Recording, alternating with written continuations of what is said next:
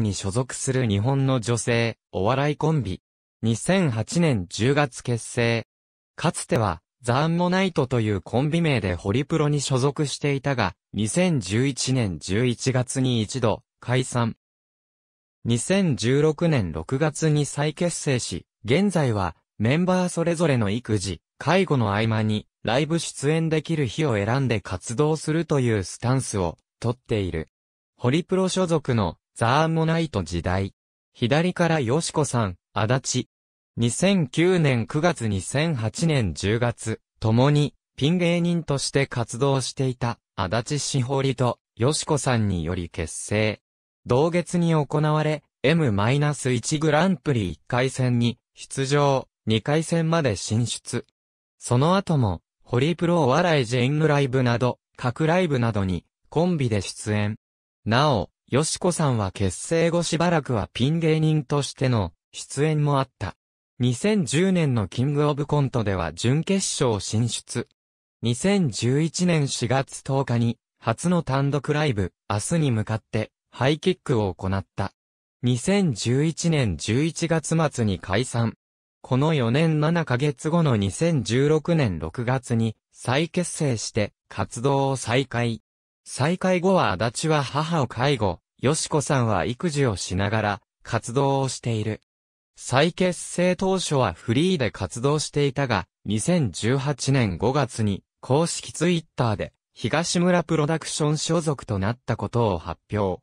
2018年11月18日開催の東村プロライブ秋の陣にて、コンビ名をザーンモナイトからワチュアナドゥに改名したことを発表した。このコンビ名の名付け親は東村明子である。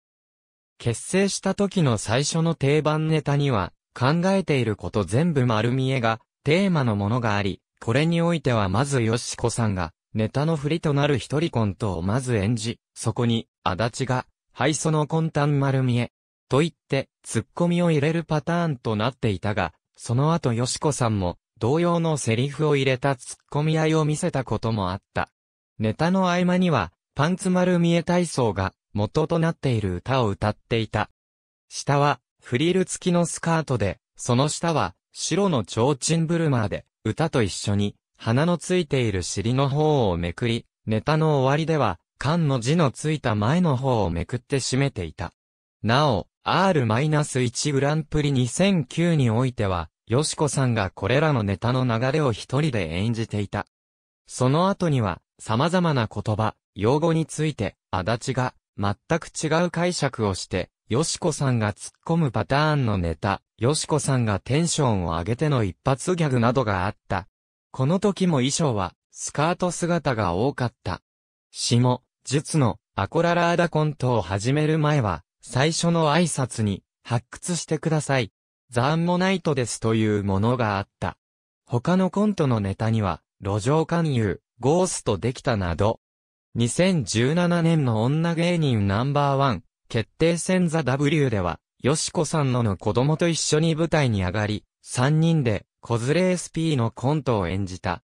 このネタができたきっかけは、よしこさんの自宅で、ネタの稽古をしていた時に子供をおんぶしたままで、ギャグやボケネタなどを演じていたのが面白かったからで、このままのスタイルで演じることとなった。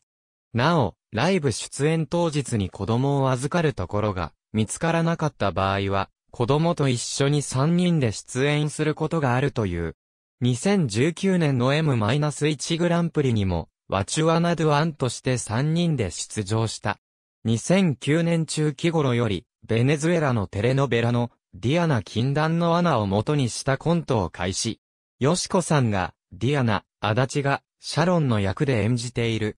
このネタを、事務所のライブで初めて演じた時に、これを見に来ていた、ぐるぐるナインティナインのスタッフから声がかかって、おもしろ荘へいらっしゃい。出演につながり、この番組でこれを演じていた。その後、ザ・アンモナイトの定番ネタの一つとなっている。このネタができたきっかけは、もともと二人とも海外ドラマ好きということもあり、アグリーベティを見ていた時に、父親役が見ていたドラマが気になり、調べてみたところ、それが、ディアナで、実際に、サイトに、アップされていた映像を見て、これは使えそうと思った、ということであるの、博士と、助手、細かすぎて伝わらないモノマネ選手権のオーディションで、披露するつもりで作ったという。そして、アントニオという決め台詞の役は、ヨシコさんである。その後、ディアナ日本語版の宣伝大使にも選ばれ、テレビ東京の昼の時間帯などに流れる同作の CM で本人たちが出演している。なお、この時に着ている派手な衣装については、最初は、うざいアラサーというネタをしようと自前で7990円で購入したが、事務所のネタ見せでつまらないと言われ、その後このアコララーダのネタをやるときに、この衣装が使えそうだと思い、そのまま衣装を転用したという。また、2009年の M-1 グランプリにおいては、これを漫才調にアレンジしたネタを披露。2010年の R-1 グランプリでも、よしこさんが一人でこのネタを披露した。2011年に入ってからは、アコララーダコントを応用する形で、太王国のドラマ、キャビンアテンダント物語天使のラブオーズを元にしたコントを演じている。二人それぞれの単独出演については、足立しほり出演、よしこさん出演の項を参照。ありがとうございます。